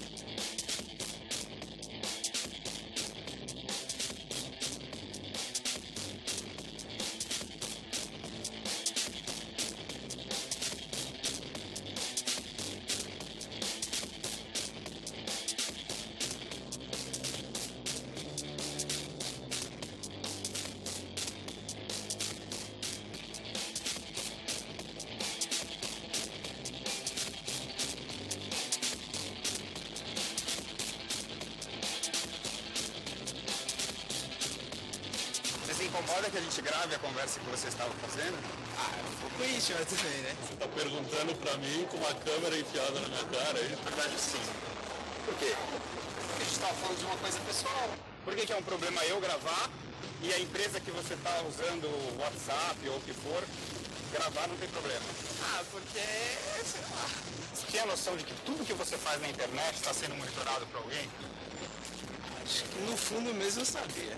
Pegue o WhatsApp, que é uma empresa agora do grupo, do grupo Facebook. Você desinstale o WhatsApp. Não se preocupe que quando você instalar, vai voltar tudo que você tinha nele para você. Porque eles guardam tudo. É, então, eu só estou pedindo para desinstalar e instalar de novo para você ler com calma a política de privacidade. Ele permite, inclusive, abrir o seu microfone. Ele fala, eu quero acesso restrito ao seu microfone. Então, como que ele vai usar isso? Eu não sei. Como a NSA vai obrigá-lo, por ser uma empresa americana, a usar isso? Eu não sei. Eu sei que ela pode ligar meu microfone sem eu saber. Vocês sabiam que, tipo, todas as buscas que você faz no Google, todas as notícias que você lê na internet, todas as mensagens privadas que você manda, está sendo guardada e vendida como informação a seu respeito. Tipo, vocês sabiam disso ou não? As pessoas sabem onde você está agora, porque ele tem a sua localização. As pessoas podem estar tá ouvindo a sua voz, porque podem ligar o microfone do seu, do seu celular, Mas podem estar tá ouvindo a nossa nossa não conversa. tão legal assim para as pessoas ficarem tão interessadas. Ah, nós estamos falando de uma invasão não autorizada, é isso? Na verdade é autorizado porque quando você assina, você clica naquele link e concorda com os termos, você está dando essa permissão para o Google usar as informações que você está passando por aqui. Por isso que é importante ler essas, essas, esses termos, só que a gente não lê. Uh, Some companies require you to read the new terms of service, show that you have agreed to it every time that they make a change. Uh, but honestly, who reads that stuff? Let's not kid ourselves. Pages and pages of very small print with no explanation about what has changed. And it's not like you're going to suddenly stop using the service anyway. Uh, and this is sort of a fundamental problem about the, uh, the relationship between, uh, between a company and its users. É, o único receio que eu tenho é como é que vão ser tratadas essas informações, né? Vão fazer o quê? Divulgar para todo mundo? A base de dados maravilhosa, né? Governments and corporations are cooperating at a level unforeseen, like uh, un, at an unbelievable level, at a level that's never happened before. And one of the places that they're cooperating more than anything else is in the development and use of new technologies for surveillance. Você tem hoje empresas que são especializadas em formar perfil das pessoas. Esse perfil das pessoas é utilizado de várias formas para interferir no dia a dia dessas pessoas, para vender a informação dessas pessoas para corporações eh, comerciais, mas também corporações que querem controlar essa pessoa, para dar informações que são eh, de foro íntimo. Às vezes você está postando uma coisa que é particular, da, diz respeito somente a você, né? E às vezes um assunto político que você está consultando ali, ou mesmo religioso. Por exemplo, se a gente tivesse, na época da ditadura, da ditadura, uma situação como essa, seria uma situação muito mais complicada de administrar pela população, porque os meios de comunicação populares hoje ficariam de uma forma mais restritos, ficariam mais restritos, de uma certa forma vigiados. Né?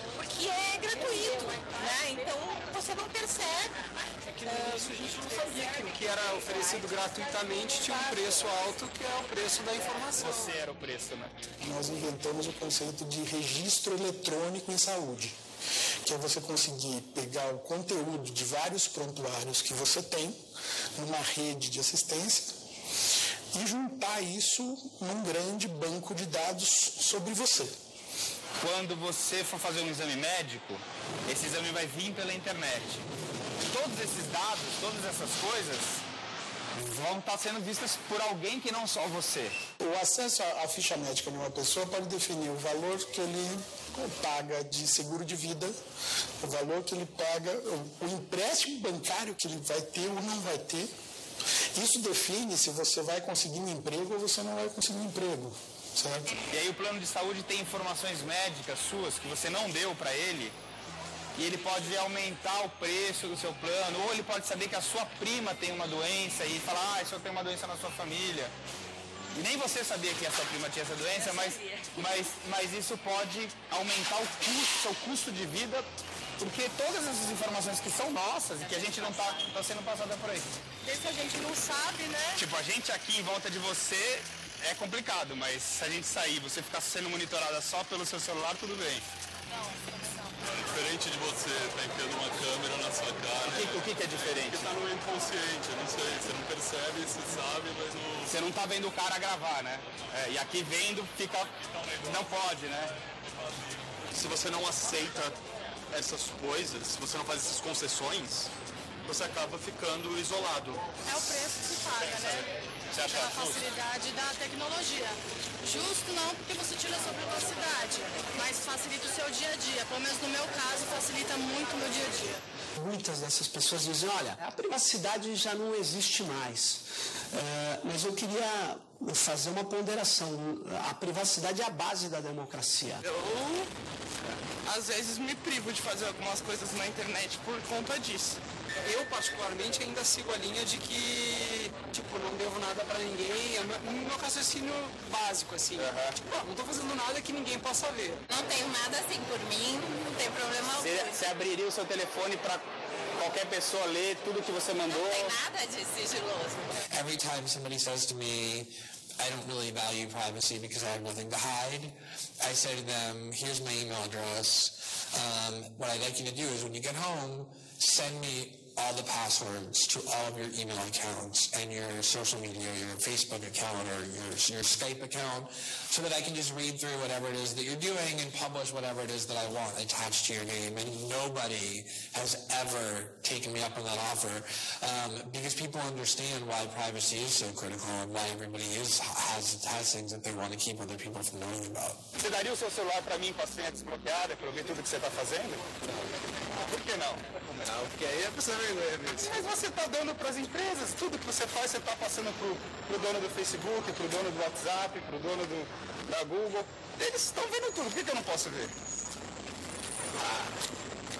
É bem complicado, bem difícil. Se chegasse carta aberta na sua casa, o que, que você ia achar?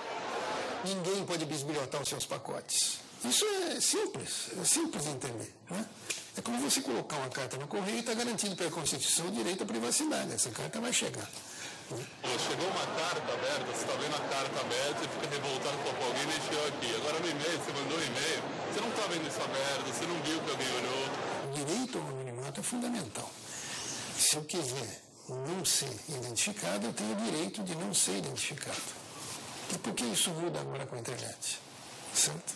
Não deveria mudar. Mais ou menos o que a gente está fazendo aqui é o que acontece cada vez que você abre esse celular. Agora a gente está percebendo a exposição. Vocês estão criando um cenário que a gente vive e não percebe. Né?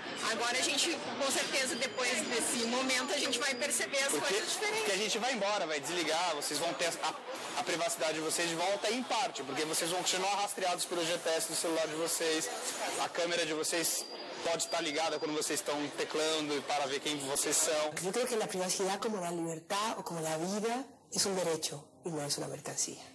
Y nadie puede negociar con los derechos de las personas. Y como es un derecho, los estados tienen la obligación de protegerlos.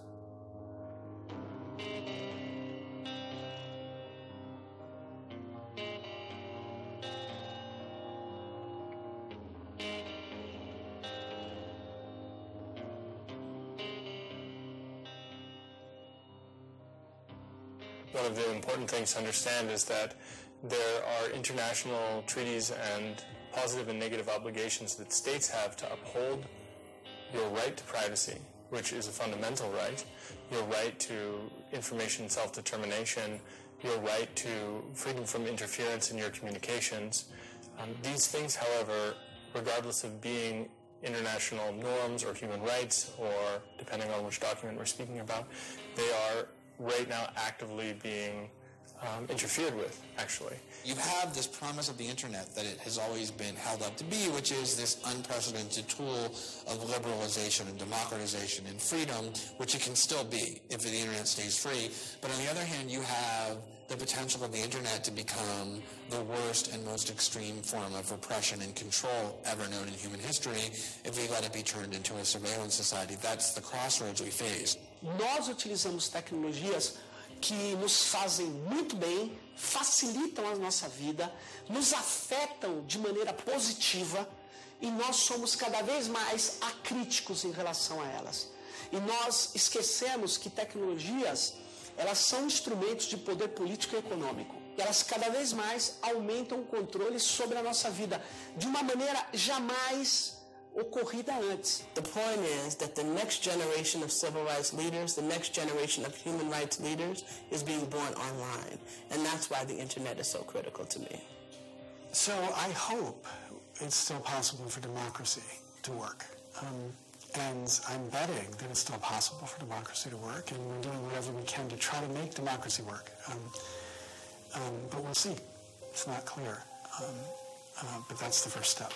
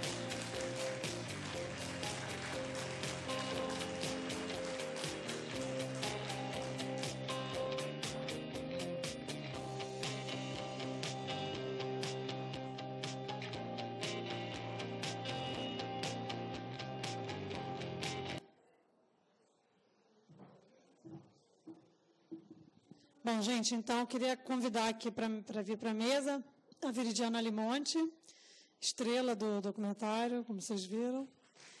Ela é do Intervozes, Coletivo Brasil de Comunicação, uma das instituições é, realizadora do, do vídeo.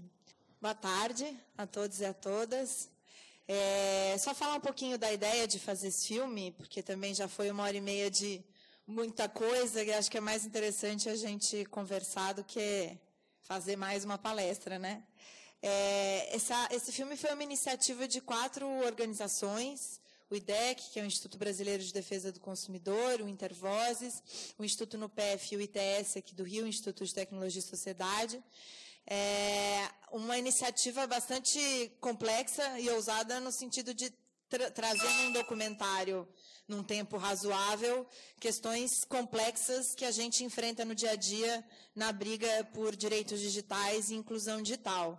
Então, é, é, uma, é um resumo né, dos, dos, dos, quatro principais temas ligados a isso, e os, as, as disputas, os interesses econômicos de um lado e a garantia de direitos e a possibilidade da tecnologia efetivamente contribuir para um ambiente mais democrático do outro. É, e é justamente essa disputa que existe de forma ah, bastante abrangente em diversos. Enfim, quando se fala de garantia de direitos, em geral, essa disputa aparece. E, mais uma vez, quando se refere ao acesso à internet depois os direitos que você tem quando consegue acessá-la. E, enfim, depois de todas essas, de tudo que apareceu no filme, acho que o mais interessante é a gente bater um papo mesmo é, enfim, impressões, questões, angústias, discordâncias, o que, o que seja. Então, são muitas emoções organizar o seminário. Na verdade, eu devia ter chamado o Humberto Trigueiros, que é o diretor do INSICT, para a mesa, que ele que vai ficar né, fazendo, fazendo essa... a ponte. Desculpa, Humberto, para variar. Já o segundo de hoje. Minha situação está ficando bem complicada. Você não quer vir logo agora, assim, de uma vez? Fazer algumas provocações aqui. É, Bom, é, eu acho a primeira vez que eu vi esse filme aqui, muito instigante. Bom, ele abre para a gente debater qualquer coisa, né, na verdade. Desde determinantes sociais, a, o que, que é determinantes sociais, na verdade, né? O acesso também é um determinante social. Enfim, muita coisa. É, e a questão, no fundo, a questão da democracia, aí meio que permeando tudo. Eu me lembro que no final da década de 70, eu morei alguns anos da década de 70, no final dos anos 70, por uma situação de exílio político, é, na Suécia. Então, eu me lembro que naquele tempo, isso era aí pelos anos 78, por aí, é, havia uma grande discussão na Suécia. Começaram começou-se a instalar câmeras é, na cidade, né? algumas câmeras em alguns lugares pontuais, chaves da cidade. E a discussão no parlamento era a seguinte: essa câmara pode se mover ou não? Ela deve ser uma câmera fixa ou ela poderá se mover para monitorar pessoas? Essa discussão parece bizarra, né? Assim, mas era uma discussão que estava nos jornais, né? Na televisão, que mobilizava a sociedade. No fundo, o que estava se discutindo era exatamente o que algumas coisas que esse filme coloca aqui era o, o direito à privacidade, o direito à cidadania ou não. Era isso que estava sendo discutido, no fundo, né? É, da, da, mesma maneira, dizer, eu é, vivi essa experiência, infelizmente, de ter, passar muitos anos no exílio, 10 anos, e eu me correspondia com a minha família por carta, né? Naquele tempo se escrevia cartas e tal. É, pois é. Então eu, eu tentava mandar pelo menos uma carta por mês. Né? É, e às vezes, e essa, cara, então foram um total, eu fiz mais ou menos uma conta aí, deve, deve ter sido aproximadamente umas 120 a 150 cartas durante todo esse tempo.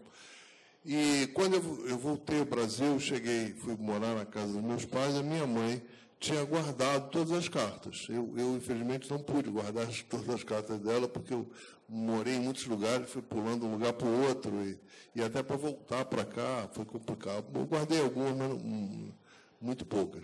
Mas ela guardou todas. E, e, eu já, já sabia mais ou menos isso, mas o que eu pude verificar, é, comprovar em loco, que absolutamente todas as cartas tinham sido abertas. Todas, sem exceção até aquelas mais malucas possíveis. Um tempo que eu morei em Cuba, então eu tinha que, para mandar a carta para o Brasil, eu tinha que mandar a carta para uma amiga que morava em Paris. Ela tirava a, a carta, botava no outro envelope e mandava novamente, remetia novamente. Até essas também.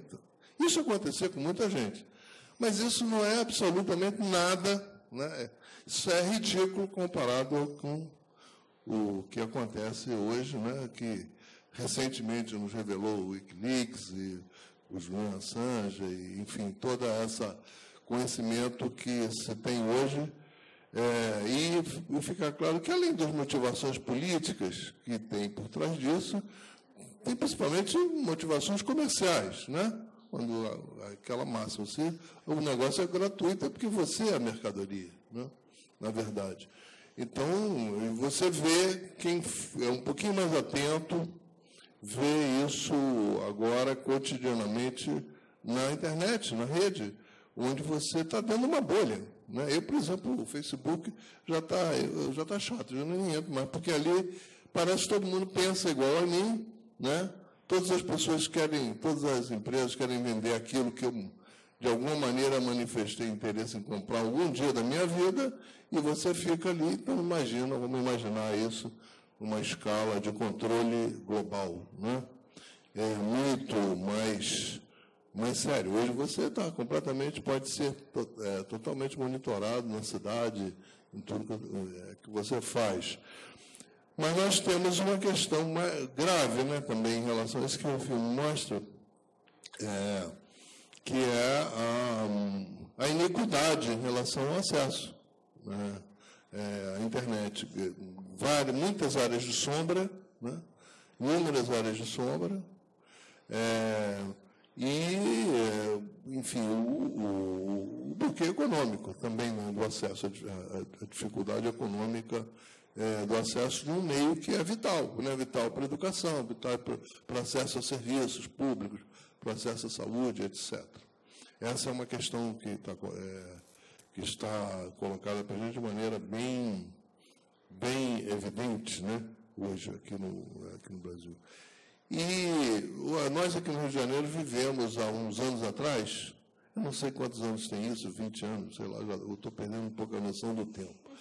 É, creio que foi na administração, na primeira administração César Maia, na prefeitura aqui que criou-se um projeto chamado URB, cujo objetivo, na verdade, era implantar a rede NET. Né? Quer dizer, é, foi é, todo desenhado para implantar a rede NET. Toda a rede NET foi construída com dinheiro da municipalidade, com impostos recolhidos, e depois esse serviço foi vendido. Inicialmente era era assim, era muito bem, é, muito bem embrulhado num pacote em que você ia ver ter, ia ter acesso a tudo, ia ver tudo, né?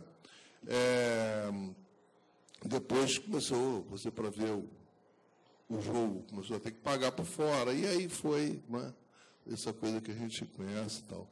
Bem, é, então eu acho que o, o, filme coloca todas essas questões. É, falar um pouco do filme só rapidamente, porque a gente trabalha com audiovisual aqui, né? É, eu acho que é, foi muito bem, muito bem realizado, ele conseguiu. É, é um tema difícil, né? Porque pode ser árido, né? E um, é um longa-metragem também. É, mas ele conseguiu mostrar as interfaces desse problema nos diferentes lugares do mundo, né? é, que a gente vê que não são tão diferentes, apesar das disparidades né, continentais, mas não são tão diferentes assim. Então, eu acho que foram os produtores do filme estão de parabéns. É, e, assim, eu acho que vai ter é, um, um, espero que tenha um uso bastante é, produtivo dele, das questões que ele coloca.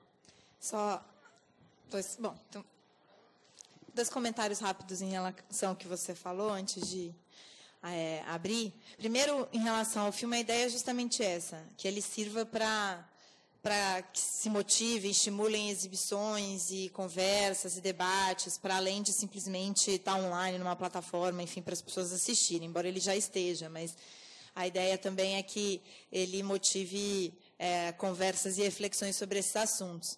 E aí, dois rápidos comentários para abrir é, sobre o que você falou. É, em primeiro lugar, a questão da vigilância, né? E como isso antes era feito de uma maneira é, claramente é, como algo parte de um projeto repressivo, é, como algo negativo, né? Mas o próprio Sérgio Amadeu, embora claro houvesse por trás disso também a questão da segurança nacional, sempre houve, mas a, a, a, visão negativa uh, da, do acesso a dados e, e, de vigilância estatal era muito diferente do que é hoje. O Sérgio Amadeu brinca que é quase como se é, o ataque à privacidade ou à vigilância viessem numa capinha dos ursinhos carinhosos, né? Porque é uma coisa para facilitar a sua vida, é uma coisa para te fazer feliz. Então você compartilha as suas informações no Facebook, na internet, nas redes, diz onde você está, com quem você está, fazendo o quê, achando que isso é muito legal, né? E isso vai criando um banco de dados é, sobre você e sobre as pessoas à sua volta e os cruzamentos é, entre todos vocês, é, inimaginável né, numa era analógica, digamos assim, embora esses bancos já existissem na, na era analógica, mas é claro que é, com as tecnologias que a gente tem hoje, é, a, a, possibilidade de coleta, armazenamento e tratamento, cruzamento desses dados se potencializa de uma maneira incrível. Né? É, e aí, com relação a, ao que você comentou do acesso, é justamente isso. O que a gente vê muito no filme é que a questão do acesso ela é mais uma face da desigualdade. Né? Então, você acompanha lá o caminho do fio, é o caminho da falta de saneamento, o caminho da falta de moradia digna. Né? É, lá em Caramuri, a mesma coisa. É, as pessoas moram em casas flutuantes, a escola é uma sala em que o professor. É a sala da aula, é a sala que o professor dorme, que guarda todos os materiais, a merenda, etc. Então, ele é mais uma face disso é, e aprofunda a desigualdade onde ela já existe, sendo que poderia ser utilizado para o contrário, né? Poderia ser uma, uma é, um instrumento de superação dessa desigualdade, um instrumento de acesso à cultura e à informação que não seria possível antes disso, um instrumento é, de provocação do poder público, de mobilização e etc. Mas a história que se faz quando não existe política pública suficiente é justamente aquilo que o Frank LaRue diz que não deveria ser, mas é mais um direito que se torna um privilégio. Né? Um direito que deveria ser de todos, mas que, na verdade, é, se coloca como privilégio. E aí, enfim, é, não vou entrar muito em detalhes, porque a ideia é que a gente debata, mas claro que em cada um desses temas há uma série de questões regulatórias né, importantes a serem tratadas, ausência de políticas públicas é, e disputas que estão acontecendo nesse momento, seja no Congresso Nacional, seja no governo federal, que se mantém em todos esses temas. Agradecer a presença de todos.